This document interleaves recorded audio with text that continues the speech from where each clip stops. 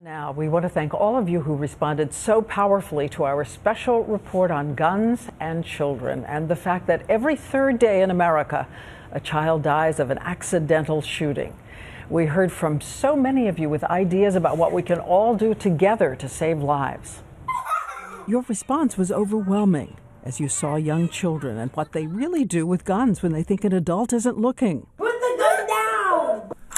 On one side, so many people who leave their guns unlocked and loaded. Sitting on the kitchen table.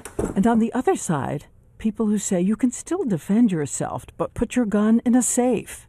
After the special, so many of you went online to say you wanted to start a conversation about this in the neighborhood, about play dates and guns. So many neighbors saying it's time to sit with each other. Even couples on different sides now talking, saying they watched and it helped them understand each other. From someone else, my gun is on the kitchen counter, unloaded, clip out, and now reevaluating where weapons are kept. And we also received so many messages from police around the country, including a police department in Texas, offering free gun locks for residents who want them. And Police Officer Easter heard from you too. He and his wife, parents of little man Michael, who got a hold of a loaded gun and was lost to an accidental shooting. They say they heard from fellow police officers and strangers alike saying it's time to change.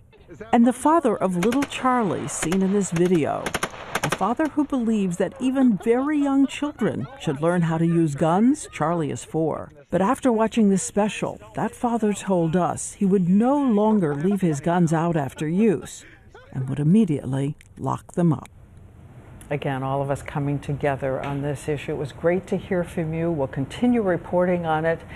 Keep your ideas coming in the coming months.